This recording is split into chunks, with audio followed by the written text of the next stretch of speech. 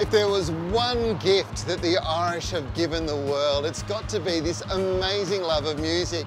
And it doesn't matter whether it's international artists like Ed Sheeran, ACDC, or Lady Gaga, or local Irish legends like U2, they've all recorded here at this remarkable studio.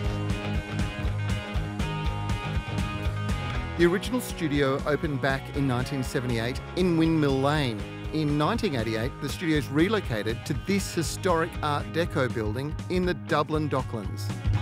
Now, in 2005, Van Morrison bought the recording studios and he used them for his own personal use. But in 2009, he sold them and the new owners set up, well, what is a very different experience. They actually opened up all of the recording studios again, which was fantastic for local artists and international artists wanting to use it. But they came up with a tourism opportunity for you to come in and experience this for yourself, to walk in the halls where some of the world's greatest performers had recorded some of your favourite songs. This is Studio One, considered to be the most renowned recording studio room in Ireland. I'm getting a tour of this place from one of its own artists, Maria Butterley. Tell me, what is a recording experience like here? You can have great days and, and, not so great days. Yeah. But the process really starts with the artist, and the artist would come in, and they may bring a producer with them. Producer would be in here, the artist would be out, ready to record. When we have all the leads, it's channeled through to the desk here, and then we assign the channel faders here for each of the instruments, so that we have isolation over the tracks there and control over bringing in the signal levels of each of the audio sound, the vocalist and the band as well. Downstairs, you can have this very unique experience and it's a virtual band.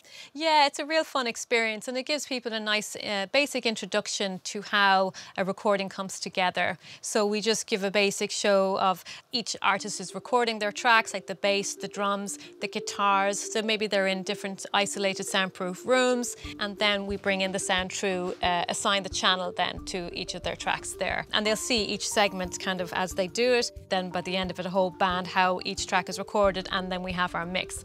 Cosmo the Ghost. Tell us a little bit about uh, that experience. You'll get to meet our resident ghost, Cosmo, uh, an introduction to him. And we do this through a unique uh, type of recording by called binaural. So you put on a set of headphones and it feels like you're immersed in the room with these people talking. So this lady will give a little history uh, and a story and also tell you about our resident ghost, Cosmo, because this is quite an old building, so there is a lot of stories. If you love music, make sure you check out Windmill Lane Studios. It's an incredible experience.